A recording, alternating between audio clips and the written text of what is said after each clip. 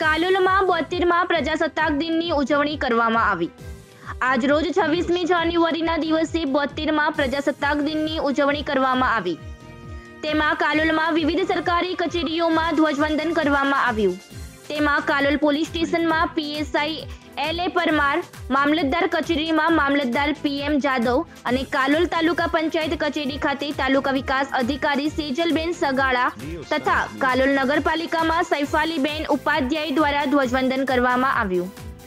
ત્યારબાદ નિવૃત્ત આર્મી કર્મચારીઓ અને ભારતીય સેનામાં જોડાવા માટે ઉત્સુક યુવાનો દ્વારા ભારતીય તિરંગા સાથે ફ્લેગ માર્ગ યોજવામાં આવ્યો હતો. અને આપણા ભારત દેશ માટે બલિદાન આપનાર ક્રાંતિકારીઓને યાદ કરવામાં આવ્યા હતા. બ્યુરો રિપોર્ટ ભાવિનભાઈ પરમાર પંચમહાલ. આજ રોજ કાલોલ મામલતદાર કચેરીમાં ધ્વજવંદનનો કાર્યક્રમ રાખવામાં આવેલો. આજે પ્રજાસત્તાક દિન નિમિત્તે કાલોલના મહેમાનો માજી સૈનિકો કર્મચારીગણ બધા આજ હાજર રહેલા અને આજના પ્રજાસત્તાક દિન નિમિત્તે આજે આપણે અમારા શહીદો, આપણા ભારત દેશના શહીદોને પણ આજે આપણે યાદ કરીએ છીએ. જેમ કે જવાહરલાલ નહેરુ હોય, સુભાષચંદ્ર બોઝ હોય, આંબેડકર સાહેબ હોય, આવા મહાન નેતાઓને સાથે સાથે માજી સૈનિકો જે, આજે સૈનિકો જે શહીદ થયા છે સરહદ ઉપર, એમને પણ આજે આપણે ખરા દિલથી યાદ કરીએ છીએ. એમને પોતાનું જાન આપીને દેશનું રક્ષણ કરેલું.